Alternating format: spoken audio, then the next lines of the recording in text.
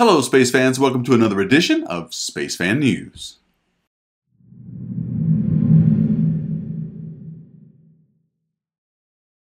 The week before Christmas doesn't usually boast a lot of new astronomy discoveries, but I did want to bring your attention to a couple of important news items that has happened this month. First up, engineers and scientists building Hubble's successor, the James Webb Space Telescope, have begun the important phase of installing the mirror segments on the objective backplane. As of this week, seven of the 18 mirror segments have been installed on the structure, and together, all of them will become the main primary mirror of the Space Telescope, measuring a whopping six and a half meters across. This will make the light collecting area of JWST a factor 7 larger than Hubble, whose primary is only 2.4 meters. Now, for those living under an astronomical rock or not following space fan news, the James Webb Space Telescope is the successor to the Hubble Space Telescope and is currently scheduled for launch in October 2014. It will live in some special orbital real estate known as the L2 point, a spot a million and a half kilometers from Earth and follows us along as we travel around the Sun. Starting next year, I'll be beginning a new vlog series entitled Countdown to JWST to make sure you are given all the latest news and science from the JWST mission, so please look for that. Carol Christian and I are also putting together a new audio podcast called This Week in Space Telescopes, where you can also get news updates, so look for that in mid January. Next, have you ever wondered how big a black hole can get? Astronomers have known for some time that there are supermassive black holes at the centers of most galaxies. The one at the center of the Milky Way, for example, is estimated to be about 4 million times the mass of our Sun. But is there a limit to how big they can get?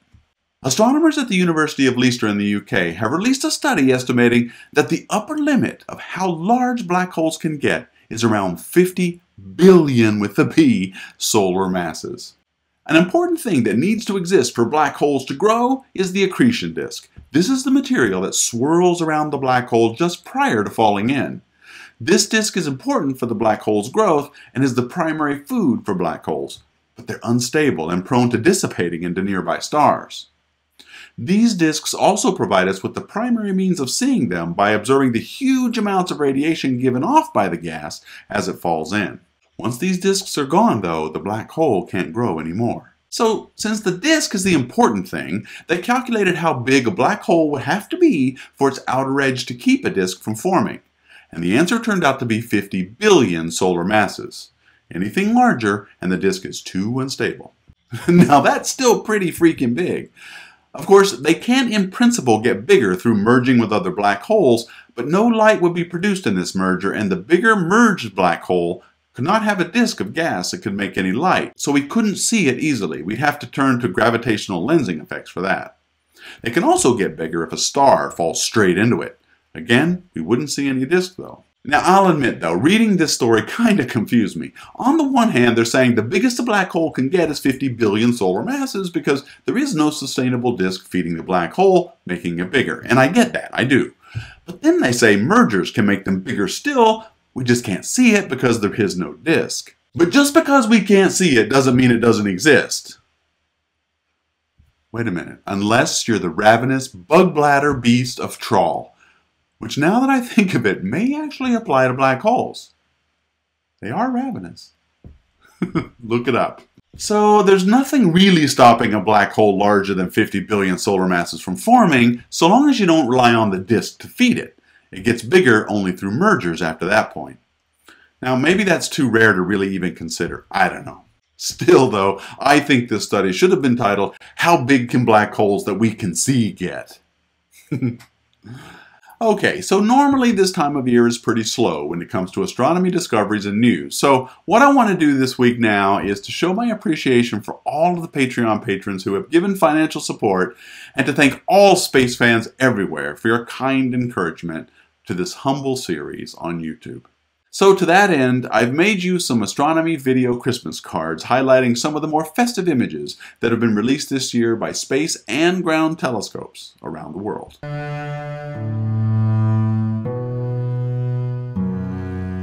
In the constellation Orion, and located some 1350 light years away, is an object known as a Herbig Haro jet.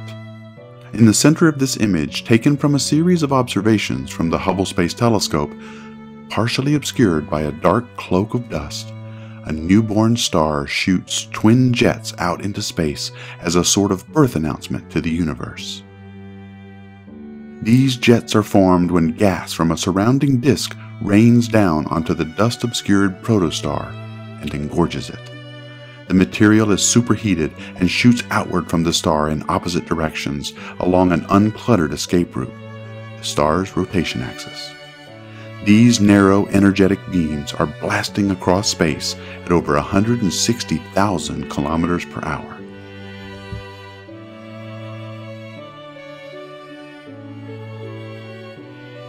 Of all the constellations in our night sky, perhaps none is more conspicuous than Orion. Northern Hemisphere dwellers usually begin seeing it in late October, and it continues gracing our celestial backyard until spring. Here, in March 2015, we see Orion the Hunter watching over ALMA, the Atacama Large Millimeter Submillimeter Array, high in the Chilean Andes. The famous Orion Nebula sits in the center of the image, a huge cauldron of new stars. This bright object is home to hundreds of brand new stars nurtured here. Off to the right, the bright supergiant star Betelgeuse. Unlike the stars in the Orion Nebula, this star is dying. Likely to become a supernova in about 100,000 years, it will become one of the brightest objects in our sky, second only to the full moon.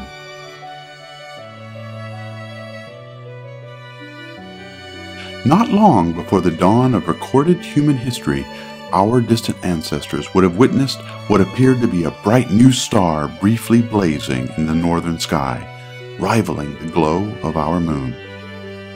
It was the titanic detonation of a giant star much more massive than our sun. Now, thousands of years later, the expanding remnant of that blast can be seen as the Cygnus Loop a donut-shaped nebula that is six times the apparent diameter of the full moon. The Hubble Space Telescope was used to zoom into a small portion of that remnant called the Veil Nebula. Hubble resolves tangled, rope-like filaments of glowing gases. Supernovae enrich space with heavier elements used in the formation of future stars, planets, and life. Well, guys, I hope you enjoyed that. This year marked another amazing one for astronomy. We truly live in the golden age of astronomy. We are looking at the universe with more telescopes and in more wavelengths than ever before, and we've only just gotten started. Next year promises to be even more exciting. Well, that's it for this week, Space fans. I hope you all have a great Christmas, and I'll be back next week with another episode where I'll present what I think were the five or ten, I haven't decided yet, depends on how much time I have, most important astronomy news stories for 2015, and we'll look forward to what's coming in 2016. Till then, as always, keep looking up.